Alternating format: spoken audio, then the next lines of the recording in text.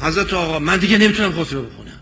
اونی که 20 سال شرکتی است میاد میگه به من میگه تو خجالت نمی‌کشی از تقوا صحبت می‌کنی. من چه کار کنم؟ بسم الله بفرمایید اگر فسادی اعلام بشه اختلاسی اعلام بشه مردم به شدت حساس میشن که عاقبت این اختلاس چه میشه. همه حساسن. اصلا دیوان محاسبات حق نداره وقتی که تفریق بودجه است هزار میلیارد جابجا شده. یهو می‌بینید که اعلام شده هزار میلیارد گم شده. یعنی چه گم شده؟ این خودش الان مجرمه.